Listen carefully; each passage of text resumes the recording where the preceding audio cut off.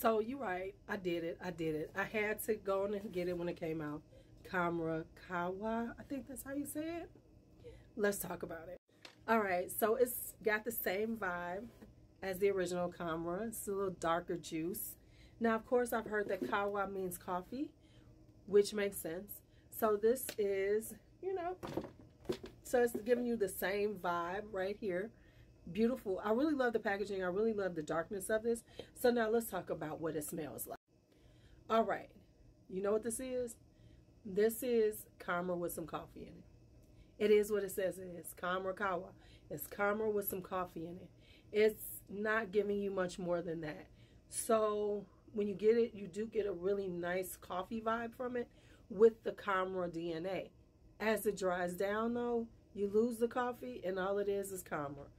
So here's my thoughts on it. For real, for real. Do you need it? If you already have Khamrah, you really don't need it. If you want to do like a coffee vibe, add something like vanilla mocha martini, coffee and whiskey, anything that you have with a little coffee vibe to it, give you the same effect. If you never had a Khamrah and you like coffee, then this will be a good way to go. Get the one with coffee and then you've gotten what you want.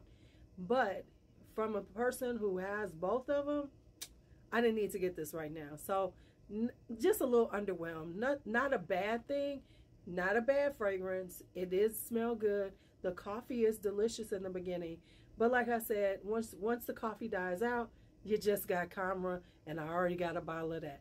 All right, so if you've gotten it already, tell me what you think. Are you still gonna get it? Let me know what you think. All right, talk to you later.